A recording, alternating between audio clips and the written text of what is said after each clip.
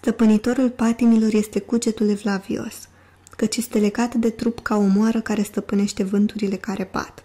Tot așa, cugetul evlavios stăpânește gândurile care curg prin cercetarea și condamnarea lor, pentru ca, prin cugetul care stăpânește, să se vădească trupul și patimile mișcate în trup.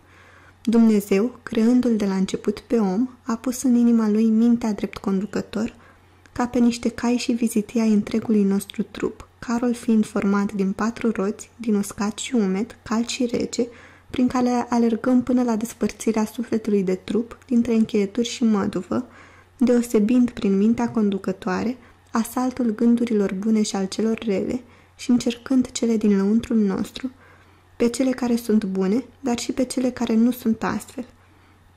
Și, ca într-un car, ținând gândurile ca pe niște frâie, ne rostogolim către cărările voilor noastre.